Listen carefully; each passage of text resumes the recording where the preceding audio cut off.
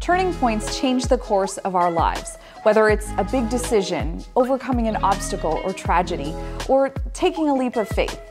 These stories of inspiration and resilience are what Turning Point is all about. Hi, everyone, and welcome to this week's episode of Turning Point. I'm so thrilled to have award winning Canadian hip hop artist and producer Classified as our guest today. Thank you so much for being here. All right, thanks for having me. How are you? Good. You know, it's it's great to have you. You're joining us from your home in Nova Scotia today, right? Yeah, yeah, in Enfield, Nova Scotia. Yeah. And how are you doing? Yeah, it's different, you know, getting more used to these Zoom things and Skype and all that. But no, it's for me it was it was frustrating for a while because for the last since I was 18 years old doing shows, my life was always and kind of unknown to myself till I was in this position. But my life was kind of broke up between shows. It would be like, oh, I got a show in three weeks. Okay, I'm going to do this, this, and this, and that. Show comes, and you kind of reset, and you go, okay, now I got to get this done before that. And without having shows, like for me, every day feels like Groundhog Day. Like, you know, I come out to the studio, do a little bit of work, kids go to school, hang out with the kids, try to find something to do with the kids because there's just not a lot you can do you know, we've taken our kids for a million walks, I think, since COVID started. And so it's just, you know, impossible to get, get the kids hype and excited to take the dogs for a walk again. And, you know, so just trying to, trying to, you know, more so than, than anything, be clever and strong for them to find things to keep them going and keep them motivated so they don't start dwelling on what's going on.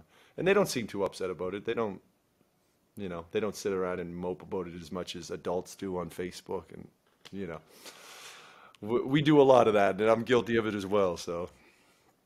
Well, you know what? I, I, I hear you though, and I, I think what you just described there is so relatable. I mean, um, I actually was going to ask you about this Instagram post um, that that you recent, recently made.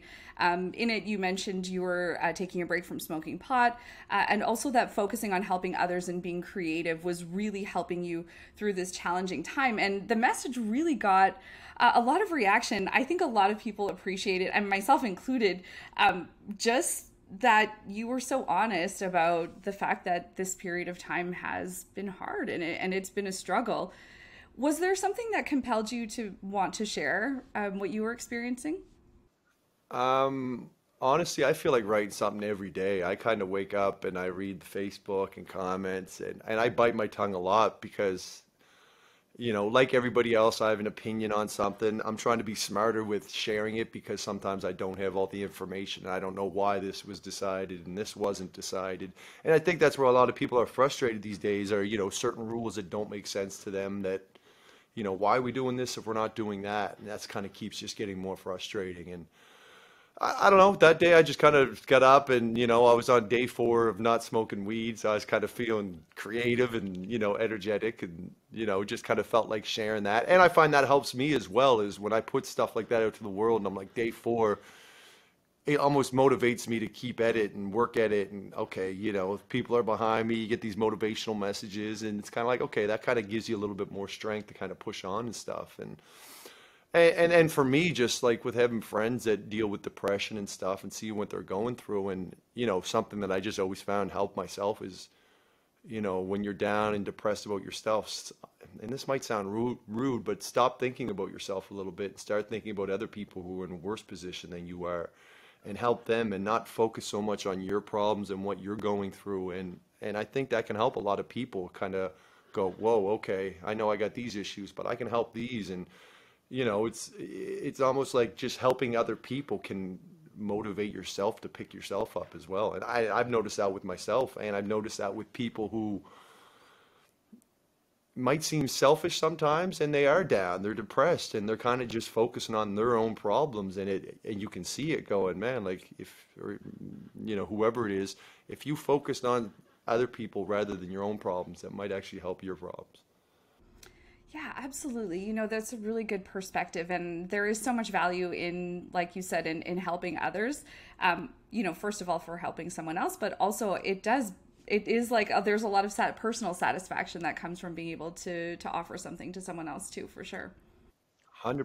100%. Like it even comes back to like, a couple years ago, me and David Myles did something at the IWK, which is the Children's Hospital in, no- in Nova Scotia. And, you know, this was before COVID and all that time, but just going in there and seeing these kids and talking to them and, you know, seeing a smile come on their face, it makes you walk out of a place like that. Like, you feel like a, not like a superhero, like, oh, I'm doing this great stuff, but you come out of that feeling like, this is great. Like, this is great that I go in there and you can help somebody else and help t turn their mood around. And, and in turn, it works works on yourself.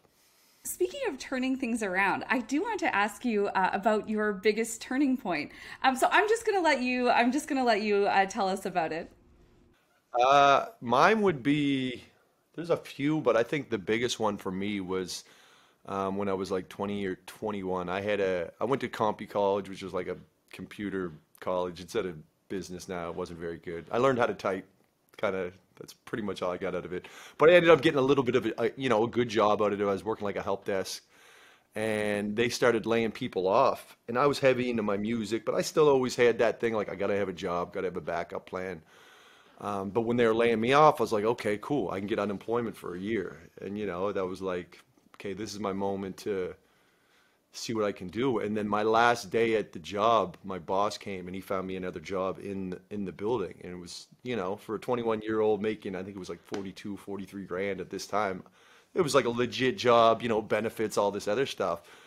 So I was like, ah, you know, that kind of grabbed me the last day. I was like, I was so excited to just go at music hard, unemployment. They offered me the job. My dad and my mom were like, you got to take the job. You can't not. And I was like, I can't.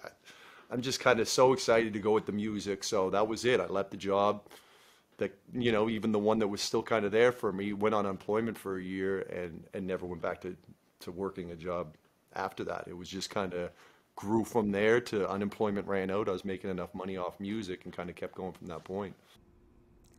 Wow. Then that is, I mean, that is a risk, obviously. Like you said, you know, you have the stability. Oh yeah, like I was scared. Like I was not like a guy that was like, "Oh, I'm gonna make a bunch of money off rap music and be able to support myself and my family." I never had that in my mind. I always enjoyed doing it. I like doing shows, and I got off on these small goals I kept hitting, and I was just like, "Oh, this is let's keep going." But I always have my job in the background just in case, you know, pay the bills, pay rent, and all that stuff. And then yeah, that one day it was just like, boom, do I want this? I'm just gonna go for it. And it was really scary. It was definitely something that you know, for the first four or five months after leaving the job, I was still like, am I doing the right thing? And just kept pushing on. And then, you know, 22 years later, I've never went back to a job. And I don't know what my life would be like if I stayed at that job. Like that was definitely the turning point for me to go, boom, music full time. Let's go. That's incredible. And yes, look at you now. Um, so, what did you do during that year? Um, when you you know all of a sudden were able to focus on music full time? Um, started selling beats, recording other people, and, and like I still have the list, like an old notepad file, like you know just a basic notepad. I had it open, and I was like, you know, sold a beat to J Brew, 150 bucks. Sold a beat to Spesh K, or you know what I mean, kind of Maestro Fresh Wes bought a beat for 500 bucks. Um, I got a SOCAN check for a thousand bucks. Oh, I played at so and so's bar for fifteen hundred bucks, and it kind of just. And if you look at this sheet, it kind of shows the whole year, and you can kind of just see where it started, and see the money kind of growing as it comes in, and just these different avenues of, oh, I got something in a, you know, a video game commercial or something, a little bit of money there, and yeah, you can just see the progress in, in the whole year as it goes. Like everything's dated and I tried to keep it as organized as I could because I was trying to make it. I was trying to make this my job. You know what I mean? This is what I was trying to do, so I was trying to take it as serious as I could. That is very cool that you still have that notebook. It must be like really kind of humbling to look back uh, at what you did in that year.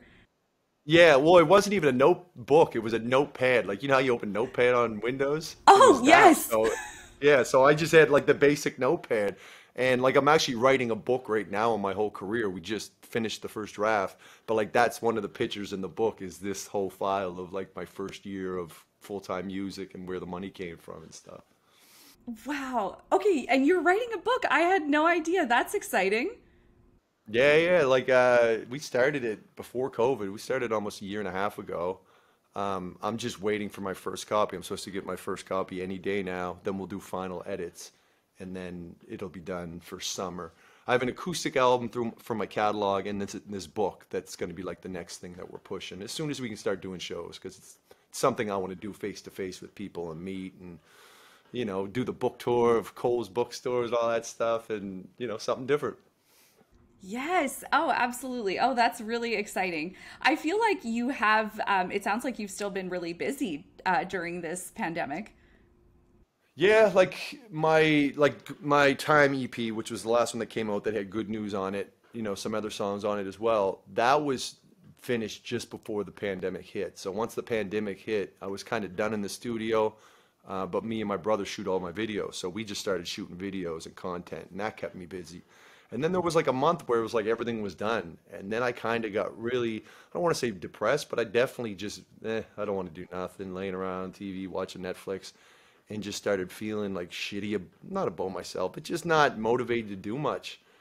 And then one day came out to the studio and then literally 20 minutes started messing with a beat or something. And it was just like, oh, this, I got to be creative. Like I just realized this year, if I'm not being creative and trying to do something, it's it's hard on me because it's all I've been doing since I was 15 years old. So to just stop cold turkey and quit it, I never realized it till this year, like how much I need that for my own sanity, not necessarily for money or paying bills, but just for my own day to day get by.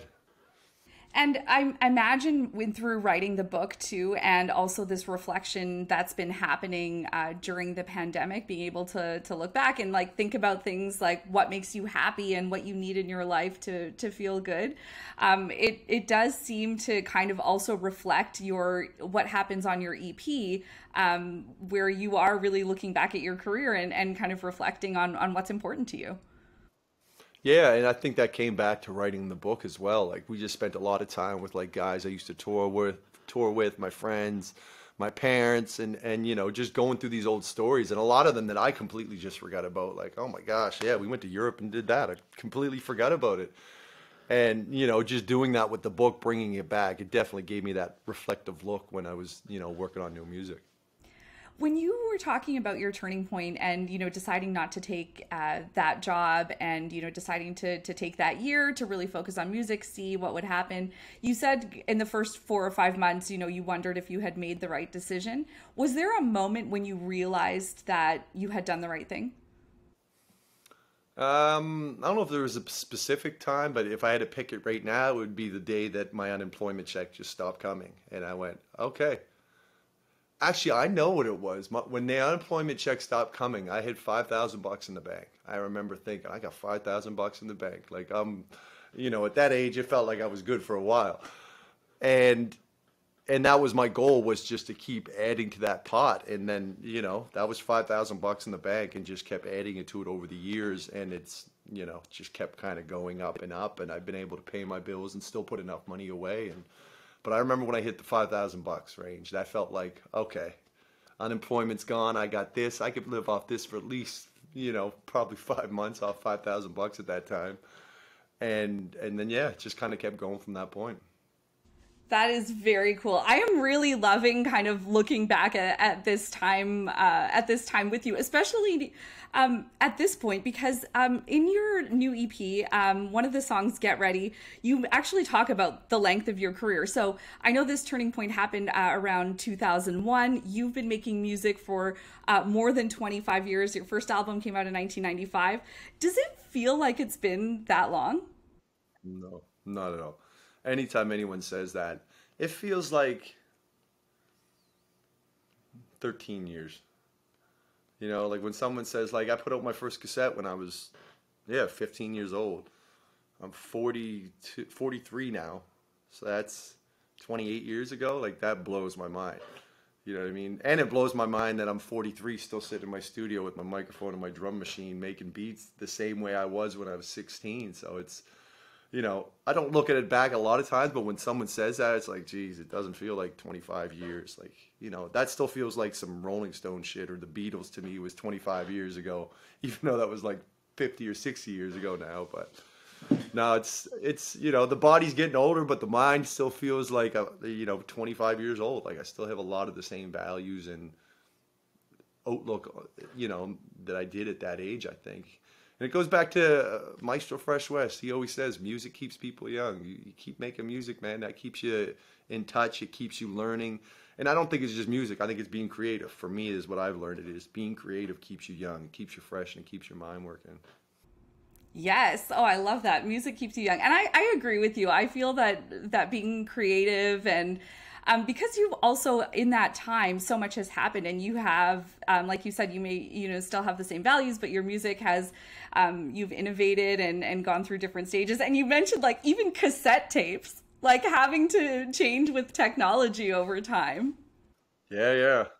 Well the yeah going from like cassette to cds to digital but even in the recording process of like recording on a four track to you know oh i got eight tracks. Now any computer any person with a computer has a 200 track studio that you know just the process of making music has changed so much too. But again that's what keeps it exciting is learning these little new things and these new tools that oh i can do this now. I couldn't do this 20 years ago.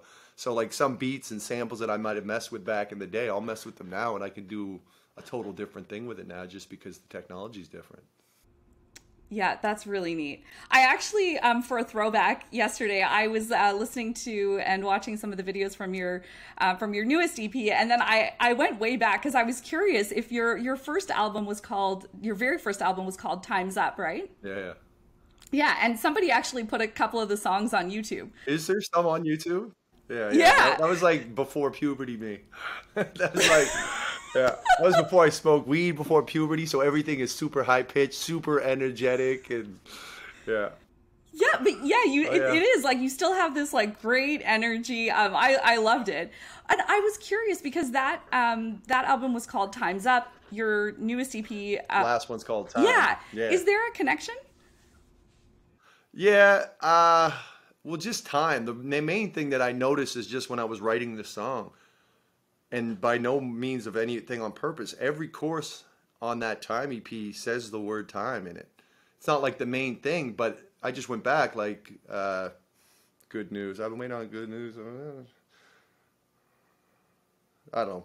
I can't even think of the course right now, but it's every course mentioned time, which was, and for me, like time is my most important thing now. It's like, you know, money's cool, but having time with my kids, you know, time heals people, time changes things. It's like time is one of the most important things that I think a lot of us forget about. And yeah, just going back to my first album being called Time's Up Kid. Originally, I was going to call it Time's Up Man just because I'm grown up now, but it was kind of corny, so I didn't want to do that. But I was just like, I still wanted to have that reflection back to like kind of where I started and where I am now and be like, time has always been an important part of my career, I think. Yeah. Okay. I, I wondered about that because I did, like, I, I didn't realize that your first album was called Time's Up Kid. And then when I went back and realized this one was Time, I wondered, um, and since you were reflecting on your career, so that's really neat to hear that it, it almost happened organically, it sounds like. And which most things do in my career, they kind of happen by mistake. And then I just recognize and go, oh, okay, that's cool. Let's, let's make it make sense now. I think you mentioned this a little bit earlier, but you, I know your new EP came out uh, last August, so obviously during the pandemic. I was curious about the timeline for this, um, the songs. Were any of them written during the pandemic, or were they all written before? No, no, they were all done. Everything was done. Yeah. Now I'm really fascinated by this because I felt like the content was so timely um, because so many of them are really, um, like you had kind of mentioned along the way here, about reflecting on what's important in life, which I think so many of us have been doing during the pandemic. Um, the song "I Love It" really stuck with me. I, first of all, I just loved seeing your wife and your daughters in the video. That's that cheap was... work right there. I don't pay any actors. I'm like the kids are in it. Yeah, we just shot a new one, and it's like I got my friends playing doctors and like yeah, like I live where I live in Enfield. It's where I grew up, and a lot of my friends still live here. And you know, like we're all going four wheeling tonight, like eight of us. So I'm very close with them. So anytime we're shooting a video, I'm like, hey, I need you to play a doctor. Hey, I need this, and you know, the same. My, my kids and my wife are sick of me. Like, hey, we're shooting a video this weekend. Now they're like, oh, come on, dad. but yeah, I got to keep it real. Got to use the real people for it. You know what I mean? Totally. Oh my gosh. And it's so perfect since you are talking about what's important to you. Um, these are my two favorite lines. So you said you can always get your money, but you can't, you can always get your money, but you can never get your time back. And the truest happiness in life is from the company you keep.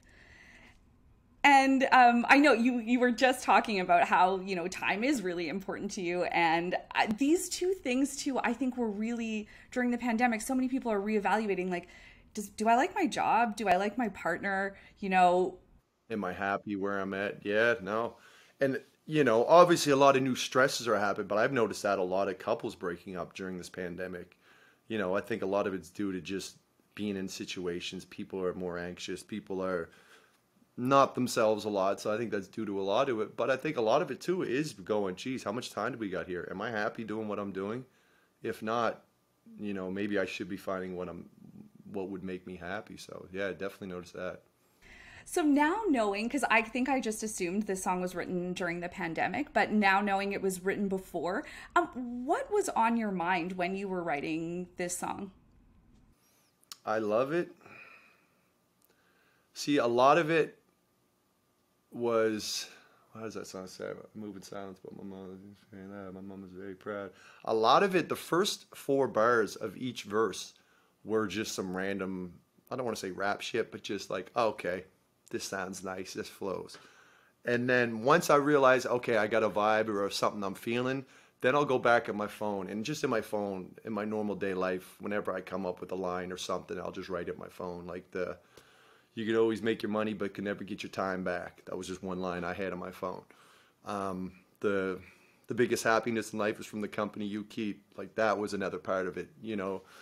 And so once I had the idea of the song kind of flowing the way I was rapping, then I try to bring in lyrics that mean more to me. So if you notice in that song, both of those lyrics you quote are near the end of each verse. Because that's when I start going, okay, this verse is staying. I want to put some gems of lines that are important to me and so yeah, those are just little one-liners that I just think about and go, you know, it's great having money, but the fact I get to hang out with my friends every day and shoot the shit, it's it's you know that's what makes me happy. You know what I mean? I don't, I'm not happy open up and go into my Royal Bank account and just look at much money I have and just go, okay, got money. I'm happy when my boys text me and go, what's up for tonight? I'm like, oh, something's going down tonight. We're doing something, and you know, like our house, we kind of built it. We have a basketball court down there. We have the pool. So I like to have friends over. So in the summer, like my place is like, come on over, bring the kids. Let's play some sports. Let's go in the woods. Let's, you know, I, I enjoy being around people. And, and I think that's why I had a hard time with the lockdown at first too of, you know, you can't be around your friends and anybody. Some people that they didn't mind that, but for me, like I'm a people person. I like to talk to people. I like to shoot the shit with people, and I like you know being around people like that. So that that was hard for me. That was hard. We we started doing the Zoom calls on Friday nights, like me and all my boys. We'd be like ten of us on a Zoom call, and that was cool because it was different. But that got old after a couple weeks. So de- definitely a people person. Yeah, there's definitely nothing that can replace those in person like gatherings and and interactions. No. No. And and like I said, some people aren't they don't mind it. They like kind of being away and you know staying on their own. But I'm I'm just not that type of person. Um, you mentioned your daughters earlier. I know um, we talked about how uh, they were also in the um, in that video. How how old are they now? My oldest is twelve, and then my middle's ten, and the youngest is seven. Okay, and how are they managing, and and how are you managing with them uh, during the pandemic? Um, it started rough because we were all doing homeschooling, and it was like Kim, my wife, she just handled the homeschooling thing, and I did gym class. So it was like, cool. I'll take the kids to play the basketball court, take them on the skate ramp, and and you know that got frustrating after a while. Just I know Kim had a hard time trying to stay on top of the studies and this. Like she's not a teacher, she doesn't know, you know, she just kind of got thrown into it. So that was tough for a while. Once things got back to normal, like our summer, we had no cases. It was almost you know, if you didn't watch the news, you wouldn't even know there was a pandemic, which, you know, could be said for a lot. But, you know, it was almost like a mind frame of like, hey, we can have friends over. We had 10 people over, blah, blah, blah. The kids would have their friends over. And they were fine. Like, they, the kids are ready for another lockdown. The kids are done with school. They're like, I wish we just locked down again so we could stay home. And it was like, please don't say that. So the kids are good. Like I'm not worried about them. You know, my oldest daughter plays basketball. They they're back playing basketball again, so that's fun. Like just getting out, getting exercise. You know, that was my biggest scare at first was just how much phone time and screen time they would have because and I couldn't argue. Like I'm a I'm an anal father about that. I let my kids have an hour and a half a day on the computer or their phone or whatever the the tablet. That's it. But when the pandemic happened, it was like you can't see your friends. You know, go ahead, like you know. So they're putting four, five, six hours a day, and it was hard to argue. But it was like getting scary of like, how are you going to get back to normal doing this for five months? Like that's a long time for a kid. So that had me worried a lot. But they seem to be doing pretty good with it. Like, you know, they took them to the skate park the other day. They were back on their skateboards, and you know, just trying to get them out doing stuff and it, de- it definitely gets redundant sometimes and you feel like you're repeating yourself and come on kids let's do this but got to keep trying yeah and it's amazing how resilient kids are like you said like it sounds like they they've managed to adjust well uh, what do they do they understand your career and like like what do they know about about your music and about what you do Oh yeah, they're pretty. They get it. Like I've taken them to WE Days and like some shows that are more like family oriented, but uh, they're cool about it. But they kind of get it too. Like my oldest, whenever, just because I'm from a small town, you know what I mean. So like, when Good News came out, you know, my daughter's teacher would play it in the class, like, "Oh, Classified put out a new song and video," and they would show the whole class, and Taylor would hate that because she's like, "Dad, they played your video in school." and everyone just st- stared at me. So she's sitting there, and everyone's just staring at her, waiting for her reaction.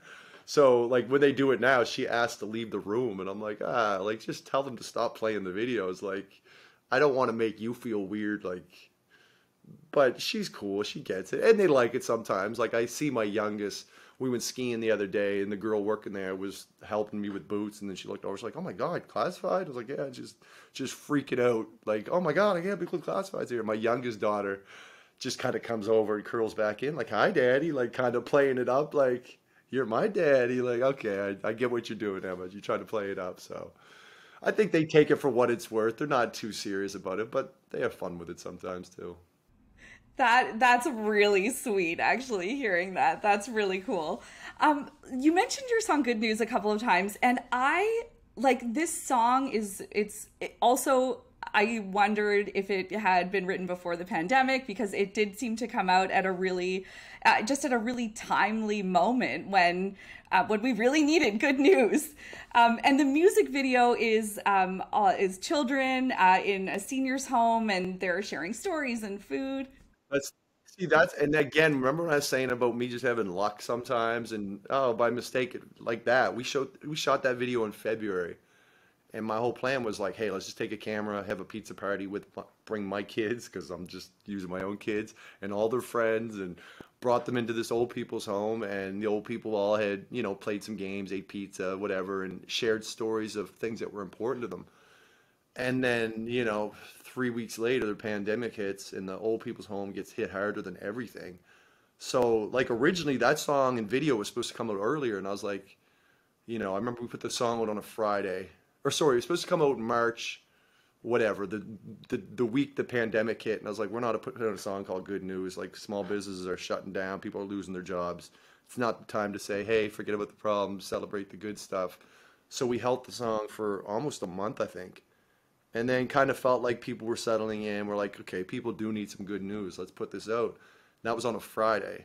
So we put the song out, and then Saturday night, the Nova Scotia massacre happened, like the day and a half after I put good news out.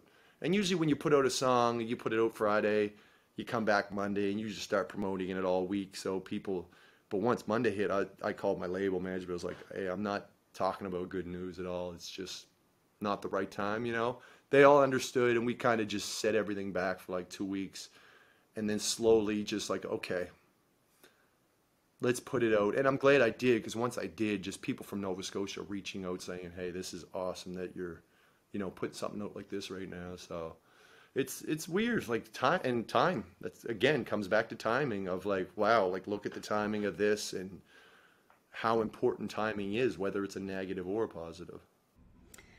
Yes, and I did read. Um, I read on, you know, I was reading through some Instagram comments on some of your posts, and people have said so many times just how much some of this music has really helped them get through this um, this pandemic. So it is uh, kind of uh, serendipitous that most of these songs were written before the pandemic. These videos were recorded, and, um, yeah. and that you were And yeah, like the video thing of like no one could go into old people's homes. So I was like, when we were putting out the video, I was like, I think it was my manager called me. He's like, bro, do you are you sure you want to put this video like showing you bringing your kids into an old people's home when people can't go see their parents right now? And I was like, ugh.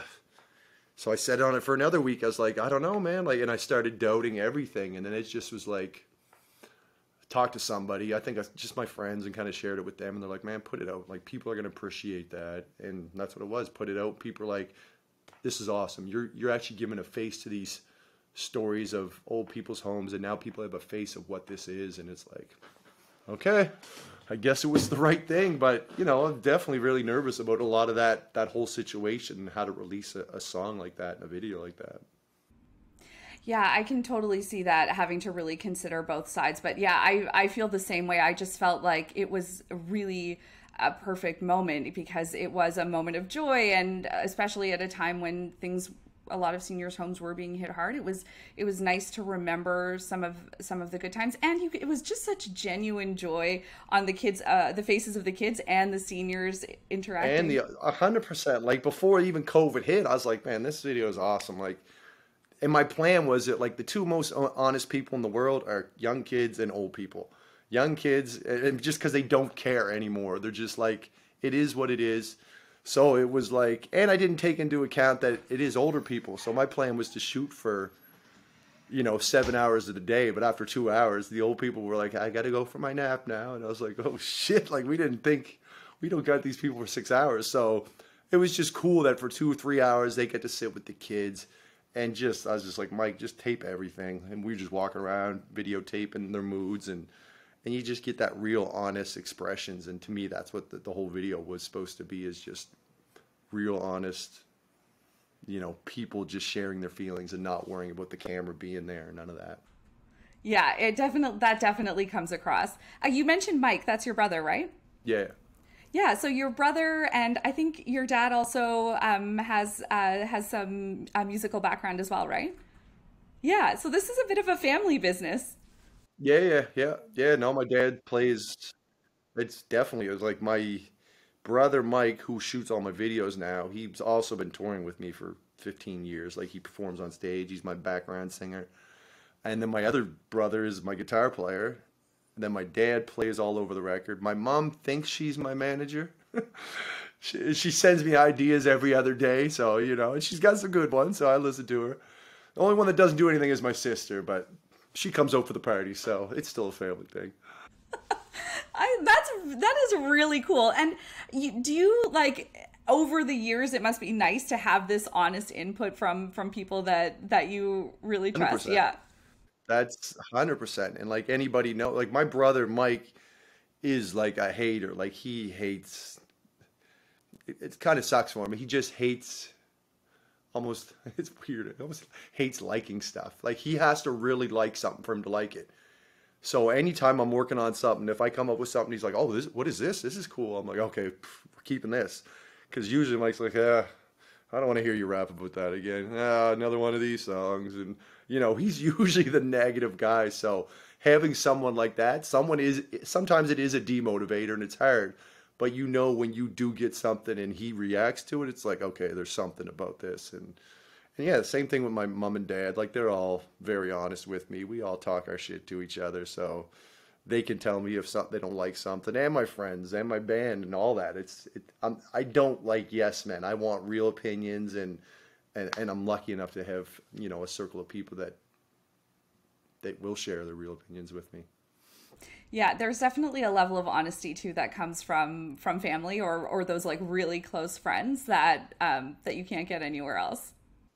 Well, the ones that that've known you before the the fame and the you know the MuchMusic videos and the award shows, like they all know me since I was five, ten years old. So it's kind of like, ah, Luke, that sucks, or you know. I you know, one of the things that's really struck me through both this interview and we've met before um, when I was at CTV uh, as well is you know you are always so down to earth and you um, you know you talk about your family about how you get the most joy from being with them from um, from being with your friends um, but are there any moments from your professional career you know whether it's a collaboration you did or um, a really cool celebrity moment that that stands out to you when even you were like okay this this is really cool Oh yeah, a few times. Like um, being like a '90s kid, like Naughty by Nature was one of my favorite groups. So I've been to New York and went to the studio. And Naughty by Nature was there. So seeing that was like trippy. Um, doing a song with Snoop Dogg in a hotel room in Truro, Nova Scotia. That's probably my biggest moment. Like I'm a Snoop Dogg fan. 15 years old, Doggystyle came out. I was like, what is this? You know, and I probably started smoking weed because Snoop Dogg started smoking weed. You know what I mean? Like he just really influenced my my whole outlook on on my career. I think so. Being able to do a song with him, and not doing it like I record here, he records in LA and sends it to me. He was up here shooting Trailer Park Boys, so I brought a studio to him in his hotel. We hung out in his studio for like, or in, in his hotel for like an hour, made this song, and then the song is it's a gold record. So it's like I didn't just get to make a song with Snoop, but I made a hit record with Snoop. So that's probably, you know, if not my top spot of like, you know, if you told me that I was 15 years old and I was gonna have a Snoop Dogg, a record with Snoop Dogg, I wouldn't have believed it, but I would have been, I would have been smiling. Oh, that is really cool. How so? How did that happen? Like, how did you? How did this idea for the collaboration come to be? I had the song done, and the chorus was "It's a weekend on the East Coast, got a little crazy last night," and it was like, okay, cool, this is like an East Coast party, but I was like, I want to make it bigger. Let's. So we, I got the guy to re-record it and do a West Coast version too. So one chorus says East, one says West. And then I was on the phone with my manager just thinking, like, man, it'd be cool to get someone on the West from this and be like, man, what if we got Snoop Dogg? And it was literally just a random, that'd be crazy. Hey, and he was like, man, why don't we try it? This was right after Inner Ninja, three foot tall and higher. So we had some big hit records and we felt like we had some steam. So he started reaching out to Snoop's Snoop Dogg's team and it went back and forth for a couple months, but it didn't feel like it was going anywhere. And then Bubbles, Trailer Park Boys, I knew that they were shooting in Truro and they rented out this whole hotel. They had Snoop up, um, some other guests, but I knew Snoop was in Truro, which is 25 minutes down the road. So I called my manager. I'm like, yo, Snoop is 25 minutes down the road. So he called Snoop's manager and they said, boom, okay, send the song. So I sent the song to Snoop. They're like, okay, he's in. He's going to come to your house tonight. This was a Wednesday morning. And I was like, he's coming to my house? And they're like, yeah, Snoop will be at your house at like six. So I hung up the phone, you know what I mean? Called all my friends. I was like, I know it's Wednesday night, but we're having a party tonight. Snoop's coming to the studio. We just got to have a party, you know what I mean? So everyone's like hyped on it. And then at five, I get a call from his manager. It's like, Snoop can't do it tonight. We're going to do it tomorrow. So I call everyone back, cancel everything, do it for Thursday night. He calls me Thursday. Snoop can't come. Can you bring a studio to him on Friday? So I was like, kind of getting a little bit like, okay, are you just fucking with me now? Is this even real? But being, you know, a big fan and trying to, I was like, all right, I'll bring you a studio. So I had an RV at the time. I just sold it last year. But so I loaded my studio gear up into that David Myles came with me. Uh, my wife came, a couple friends, and we drove to Truro. Um, met Snoop's manager, and then he brought me into the studio, and Snoop came in, and we just hung out for like yeah, an hour, hour and a half, and and it was crazy because Trailer Park Boys were shooting a movie, so Ricky and Julian were running one way, and then like um, Tom Arnold was there at one point, and like just random characters were all at this little motel. It was a trippy night but like you know the highlight was me being able to record and work with snoop but yeah that's that's kind of how it came together. Oh my gosh i feel like i held my breath through that whole story. That is what a surreal experience. Yes like what's going next? Yeah yeah no it was a it was a an effort to make it happen but glad glad we got it done. Yeah and that vi- that music video is one of my favorites too. It's so funny. Yeah and that was the thing with that too was like we we were gonna get Snoop in the video, and it's a business, so it costs extra amount of money. And just how hard it was to do the song, I was like, I don't know if I want to pay the money, fly to LA, and then you know, just do a rap video because that's kind of what it was gonna be. It was like, well, Snoop basically said you can come to my house, which is like his compound. They got a studio, we can videotape us rapping. And I was kind of like, yeah, that's cool, but I want to do a more creative video. I don't want to just like I'm rapping, you rap, and then pay a bunch of money to do this. So talking to the director, I was like, how can we make something cooler? So he flew me to LA. I shot one scene where it looks like I get hit by a bus, and then me and Snoop are in for the rest of the video, and and you know we flew back home. But I literally flew to LA to shoot for 20 minutes, and then flew back home. But yeah, no, shout out to Dave Hung for shooting that video. It's creative. Oh yeah, yeah, it's really cool. I went back and watched that one last night too because I, I loved it, and I was like, I need I need a refresh of this video. And yeah, yeah, it's so good. Oh, I love the whole backstory to that though. That is a very yeah, that's really cool. You have a great memory, hey? You remember like every minute of that. That's just you know why because well that one because it was like a big moment. Like I don't think I'll ever forget that. But writing the book, like there's so much stuff I had to revisit that was like, oh yeah, that happened and Mike or my DJ IV will tell me, "Don't forget this," and I was like, "Oh shoot, forget about that." So yeah, doing the book definitely brought back a lot of memories. Speaking of memories, I do want to come back to your turning point here um, because it's been almost 20 years since you uh, were laid off from your job. You made this decision to give a full time career in music a try. Uh, I don't need to ask you if you have any regrets. Obviously, uh, things have worked out very well. Uh, but I did want to ask is there anything that you're really excited for as you look to the future? Right now I want to travel. Like I just want to take my kids to go to Australia, Germany. Just I think the lockdowns kind of made me go, okay. You know, my oldest is 12. By the time she gets to like 16 or 17, she's going to be doing her own thing, hanging with her friends, more concerned with that. So, you know, that's my biggest thing is showing my kids like the world is bigger than Enfield.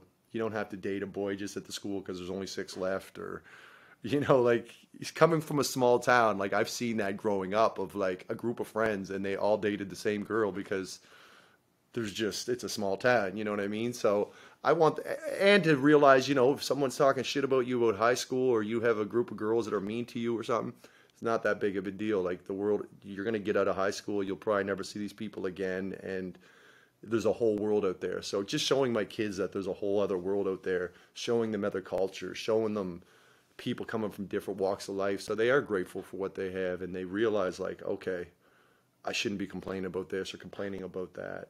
That's my biggest thing is just giving my kids knowledge so they can grow up and be happy and find something they love doing. Oh, that is exciting, and I'm with you. I cannot wait to get on a plane and uh, and go somewhere somewhere new. Yeah, like I don't like flying. I hate flying. Like I'm scared of flying. But right now I'm like like we're going to Cape Breton for the East Coast Music Awards in May, and I'm so excited to go to Cape Breton right now. Just you know, I've been there a million times, but not leaving you know my area in like I'm almost a year. Just getting out and, and seeing people, talking to fans, touring, doing all that stuff. I'm excited for. Yes, I agree. And what about career wise? I know you just mentioned going on tour um, and being able to see people again. Um, do you have any other big projects you're excited about? Uh, the book and the acoustic album is basically the main thing. So the acoustic album I'm just finishing up now. Um, the book we're just wrapping up, and then we'll start shooting videos for all that stuff. Start releasing stuff maybe around September, maybe midsummer. Um, and then we're looking at doing more some more overseas stuff. You know, we haven't done a lot of overseas, a little bit, but I've just focused on Canada so much that you know I just kind of realized, okay, I want to go to Germany, tour there for two weeks, and kind of lay a little bit of a mark down there. But other than that, it's kind of free flowing right now. It's you know I'm not like planning another big album right yet. I'm just kind of rolling through it, taking it day by day, and just making sure every day I'm doing something else to keep moving forward. Oh well, I, I you know what I love that we like we went like super big picture and like the traveling, the global, and then you brought it right back to, you know, taking it day by day because I I think that that that is what so many of us are doing right now. You're like daydreaming about about traveling and the the next big thing, but really you're right. It's it's hard not to focus on also just kind of getting through every day right now too. Yeah, yeah. Well, just like I said, it's like Groundhog Day. So like every day I'll make sure I come out to the studio at least get something done for this acoustic album, get some video ideas wrote down, just to feel like I'm being creative and and pushing. You know what I mean? I I find when I get stale, I get stale and just the yeah, just become like a grump around the house. And my wife's like, "What's wrong with you? go do something, and you know, so I I, I got to keep pushing on. Oh, well, I can't wait to see what's next for you. Uh, Luke, thank you so much for making time for sharing your turning point. Um, and I hope we get a chance to see each other in person. Um, I'm sure you'll be in Toronto uh, touring when this is all over.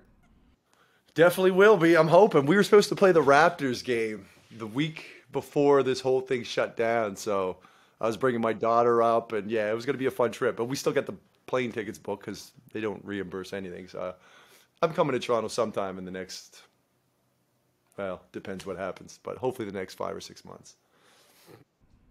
Okay, well that sounds good. I hope I hopefully I'll get to see you then, uh, and hopefully you'll get to see a Raptors game too when you're here. Yes, I'd like to. Awesome. All right. Thanks again so much. I really appreciate you making time for me today. Um, and thanks to all of you who are watching and listening. I hope you'll tune in again next week for another Turning Point story. Until then, take good care of yourselves and of each other.